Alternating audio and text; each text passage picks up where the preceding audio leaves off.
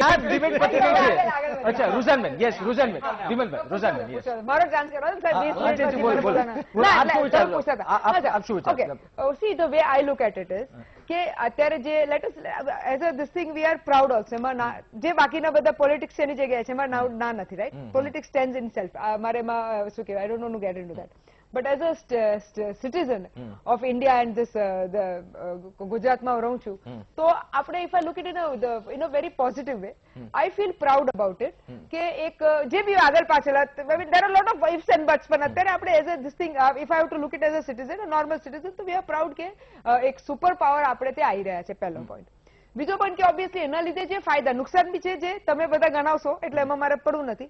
ફાયદામાં obviously India has been looked up amount એમાં બી એ ડાઉટ નથી.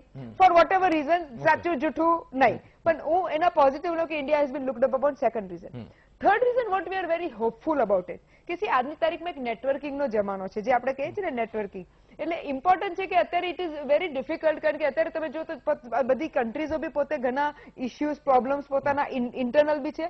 ને હવે as it is becoming a boundaryless world એકબીજા જોડે હવે કનેક્ટેડ થયા છીએ. તમે જોતા હશો તો અત્યારે અગર ચાઇનામાં આ કોર્નો વાયરસ આવ્યો છે તો બધા કનેક્ટેડમાં બધા જ પ્રોબ્લેમમાં આવ્યા છે. એવું નથી કે એકલું ચાઇના આવ્યું છે. કે જો તો એરલાઇન એક્ઝામ્પલ આપું છું. Airline industry tourism industry other than China એ લોકો બી પ્રોબ્લેમમાં આવી છે બીકોઝ એ લોકોની બી ઇકોનોમી હિટ થઈ છે. આપણે ઇન્ડિયામાં કરીએ તો આપણે બી રો મટીરિયલ્સ બલ્ક ડ્રગ્સ કે જે રો મટીરિયલ્સ હિટ થયા છે. એટલે આપણે બધાએ come what may now as as a global economy will all have to stay together આપણા બધાના એ ડિફરન્ટ હોઈ શકે. See what I like about mister Trump એક પોઝિટિવ વાત એમની છે કે એમના માટે એમનું દેશ પહેલા છે. For him. વેરી ક્લિયર એ કઈ બી કહેશે અને એ બહુ ફ્રેન્ક માણસ છે ફાટથી બહુ is not a diplomatic person ફાટથી કહી દેશે. અનફોર્ચ્યુનેટલી બીજા દેશોમાં બીજા જે બધા વડાઓ છે એ ફાટતી નથી કહી શકતા યા નથી કહેવા માંગતા એ લોકો હજી ડિપ્લોમસીનો હોલ્ડ કરે છે. એટલે પ્રોબ્લેમ ત્યાં થાય છે કે એ ફાટતી કહી દે છે બીજા નથી કહેતા એટલે there is a big gap in that એમને તેમના અભિપ્રાયો વ્યક્ત કરી દીધા છે.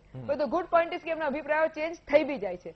હવે કમિંગ બેક ટુ આપણું ઇન્ડિયા અગર તમે અત્યારે જે ટ્રેડ ડીલની વાત કરશો તો it was very clear from day one એટલે તમે એવું આજની તારીખમાં એ જમાના ગયા કે તમે કહો કે આ મારો દોસ્ત છે એટલે કરશે. ના. કોઈ કોઈનો દોષ નથી. They have to think of their country first એટલે અગર એ લોકોને ફાયદો થશે તે લોકો કરશે. અને નહીં થાય તો નહીં કરે. સેમ ઇન્ડિયાનું બી છે. ઇન્ડિયા બી બતાવો જ્યાં એનો ફાયદો થાય છે અગર એને થાય છે કે આપણા દેશનો અહીંયા ફાયદો નથી તો ઇન્ડિયા નથી કરવાનું કારણ કે એટ ધ બેક એન્ડ એ લોકો એક દેશ ચલાવવાનું છે. અને આજની તારીખમાં એ જે એમની સ્ટેન્ડ છે બીજી વાત કે અગર ટ્રમ્પની વાત કરીએ તો એમનો સ્ટેન્ડ ખાલી ઇન્ડિયાની સંબે નથી. એમને અગર જોયું તો ચાઇનાની અગેન્સ્ટ બી એમને એમનું ટ્રેડ ડીલ સ્ટ્રોંગ કર્યું કે ભાઈ ના ખોટું છે. એઝ અ હું તો I would rather like to look at it the other way કે જ્યારે ચાઇના સામે ટ્રેડ ડીલ હજી બી છે તો આપણે ઇન્ડિયન્સોનો એટલો ફાયદો નથી ઉપાડી શક્યા કારણ કે આપણે એવી પોલિસીઝ ના બનાવી તરત.